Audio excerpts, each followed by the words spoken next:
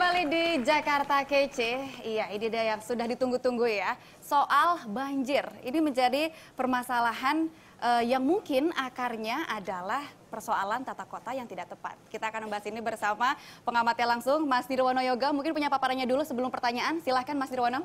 Ya, ya secara umum memang uh, Jakarta ya, dari sejak tahun 19, uh, 1996, 2002, 2007, 2012, uh, banjir masih uh, terjadi di Jakarta. Ya, kalau kita bandingkan memang kota-kota besar di dunia juga banjir ya.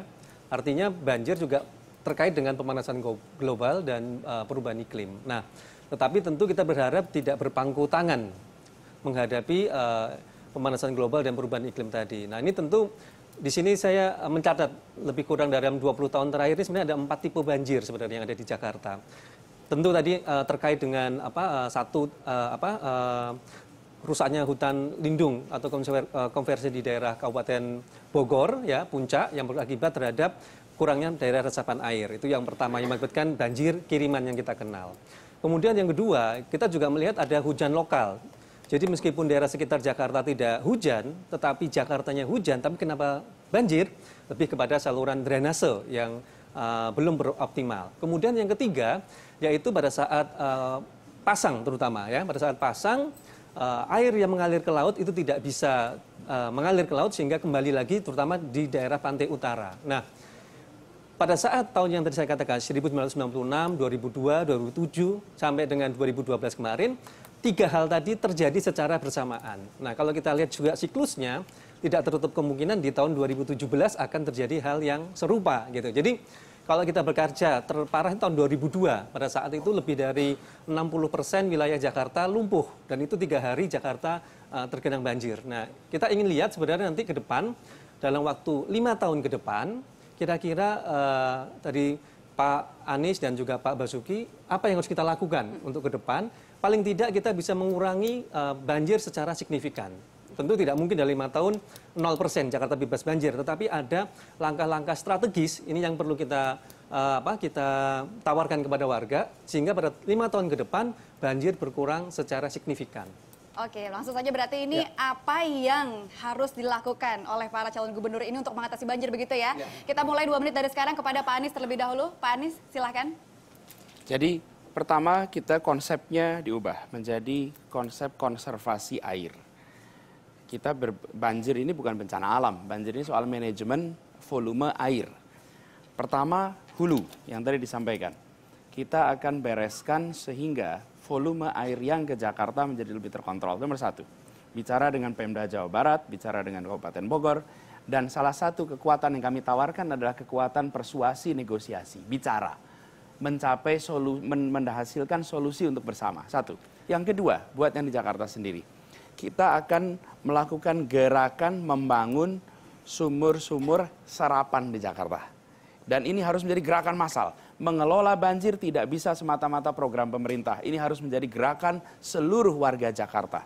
Dan ini artinya dari mulai rumah, kampung, sampai kepada jalan-jalan yang lain. Yang ketiga, memastikan aliran air itu tidak terhambat. Ini artinya mulai dari gorong-gorong sampai sungai itu beres. Yang keempat, muara yang tadi disampaikan.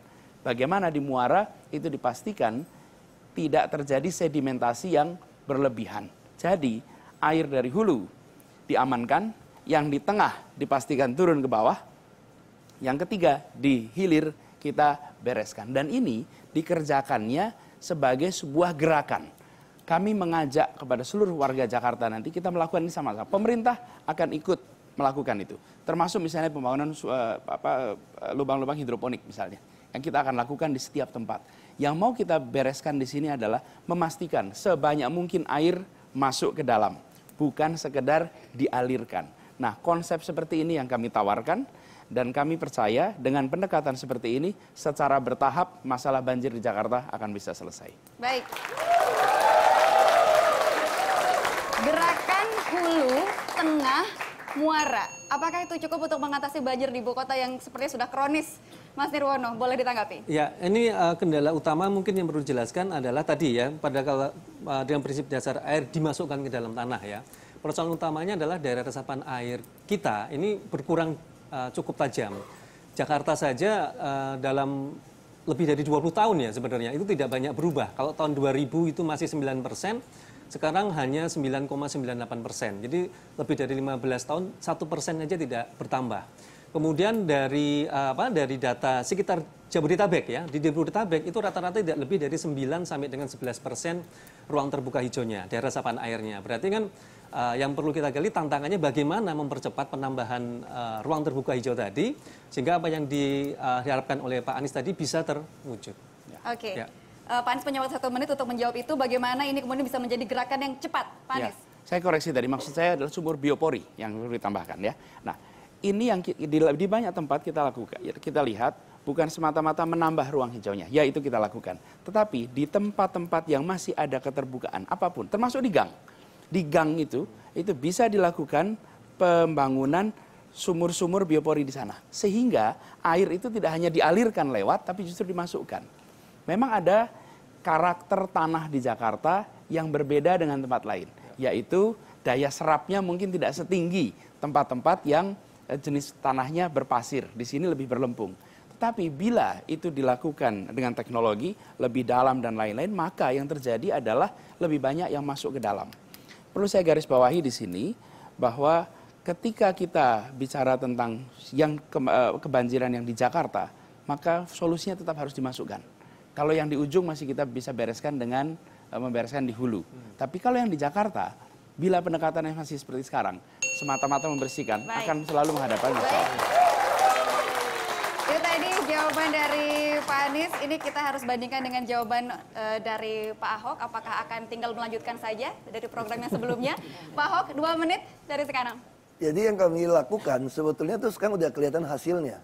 Dari 1.250-an titik lokasi pengungsian gitu ya. Sekarang itu tinggal hanya 409. Artinya itu dua per tiga daerah kami selesaikan. Dengan cara apa?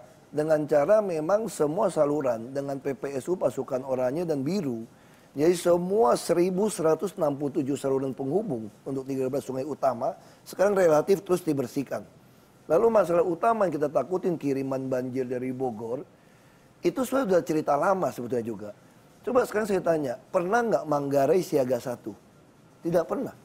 Dulu Katulampa siaga satu kita takut, sekarang nggak pernah. Setelah terus pernah nggak Kampung Melayu, Kampung Pulau, sebentar lagi Bukit Duri, pasti nggak banjir karena kita lakukan normalisasi. Persoalan yang masih dihadapi adalah utara. Utara kita hanya punya tanggul 2,8 meter dan biasa siklus lima tahunan dia melintasi 2,8. Makanya sekarang sedang kami kerjakan sudah ratusan meter. Kami akan kerjakan 120 km tanggul setinggi 3,8 meter termasuk lebih lebar bisa buat jalan mobil supaya nggak ada lagi cerita air laut. Makanya pompa kami juga ada menyelesaikan 50 waduk besar. Kita akan selesaikan lagi 39 dengan pompa-pompa yang ada. Kenapa banjir sekarang pindah-pindah? Karena kami belum menyelesaikan 1167 saluran. Kalau kita dulunya salurannya mampet, sekarang jadi lancar, airnya masuk ke tempat yang rendah. Jadi kaget orang ini. Tapi dengan tempat rendah kita buat saluran lagi pasti beres. Yang sering banjir sekarang itu adalah selatan dan timur. Kenapa? mereka itu dulu menduduki daerah aliran sungai. Tentu kita harus lakukan biopori tapi nggak gitu bisa manfaat. Termasuk yang di hulu, kami juga memberikan dana-dana memberi tanah untuk penghijauan. Tapi sekarang pun asal dia nggak menambah lagi memangkas penghijauan, nggak ada lagi ancaman dari Katulampa. Nggak ada lagi cerita Ciliwung membuat Jakarta banjir saat ini sebetulnya. Karena aliran tengah kami sangat baik. Oke. Okay. Anies, biopori itu penting. Kalau kata Pak Ahok nggak terlalu bermanfaat. Gimana dong, Mas Nirwono? Ini yang mana nih kira-kira yang paling oke? Okay? Ya, uh, kalau bicara soal banjir ya, prinsip dasarnya itu uh, yang berkembang ya. Sebenarnya adalah ekodrenase atau ekohidrologi yang dikembangkan oleh kota-kota besar di dunia, yaitu bagaimana kota itu menampung air sebanyak-banyaknya untuk diserapkan sebesar-besarnya ke dalam tanah. Jadi bukan untuk uh, membuang air secepat-cepatnya ke laut. Jadi konsep dasar penanganan banjir itu yang menurut saya harus dirubah. Yang menarik dari Pak Ahok, mungkin saya ingin catat ada satu pertanyaan ini tadi, yaitu tadi, uh, terutama di selatan timur ya, dengan munculnya banyak kasus yang uh, saya ikuti, terutama di selatan. Ini kan banyak daerah-daerah resapan air yang kemudian berubah menjadi uh, pemukiman, sehingga tidak heran kalau daerah itu menjadi banjir, gitu ya. Nah, tentu ini akan berakibat terhadap uh, satu, bagaimana dengan keberadaan bangunan-bangunan tersebut, apakah akan di uh, dalam tanda petik itu dibongkar, kemudian uh, justru ini daerah selatan daerah selatan yang elit, bukan daerah selatan yang kita kenal seperti di pinggir kali, mamanya. Nah ini juga uh, menarik kalau kita lihat apa yang akan harus dilakukan di daerah-daerah selatan dan timur tersebut. Oke, Pak Ya, Ahok, ya. satu menit dari sekarang ya masih akan melakukan penggusuran? Jadi langsung otomatis semua bangunan kami bongkar. Misalnya orang banyak nggak ngerti kampung pulau bisa tidak banjir. Saya membongkar 13 ruko bersertifikat dan ber-IMB. Tapi karena dia kena terase dari zaman Belanda, saya tidak bisa tolerir. Sama seperti Kemang. Kemang ini kenapa kami belum bongkar? Karena kalau saya bongkar sekarang, yang hotel-hotel punya tembok, nanti nggak ada tembok. Makanya sekarang dia janji satu dua bulan beresin tembok dulu. Lalu kami akan bongkar 500 bangunan di Kemang. Jadi kami tidak ada toleransi, pasti kami bongkar. Malah saya lagi cari cara nih, lagi cari akal. Saya dia punya sertifikat, atau punya sertifikat. Saya lagi cari cara gimana caranya kagak bayar dia, walaupun punya sertifikat. Saya lagi cari alasan dia kena terase sungai.